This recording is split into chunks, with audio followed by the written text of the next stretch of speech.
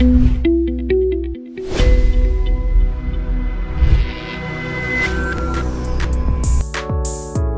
sobat, Mimin begadang nih buat sobat untuk selalu update terkait switch over stasiun Tambun.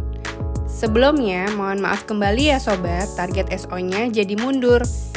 Jumat 8 Maret 2024 telah dilakukan uji beban di jalur 3 dan 4 stasiun Tambun menggunakan lokomotif yang bertujuan memastikan jalur 3 dan 4 sudah memenuhi standarisasi dan aman untuk keselamatan perjalanan kereta api. Yuk simak videonya untuk informasi lebih lanjut.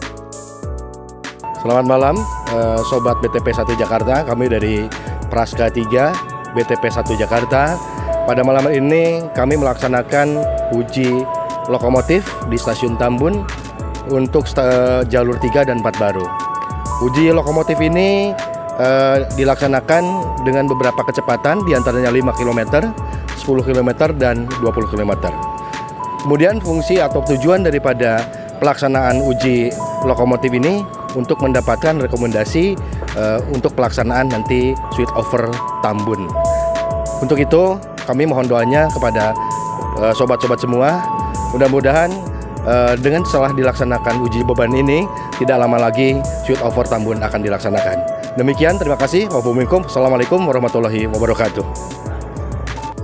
Nah, sobat, berikut informasi yang kami update dari stasiun Tambun.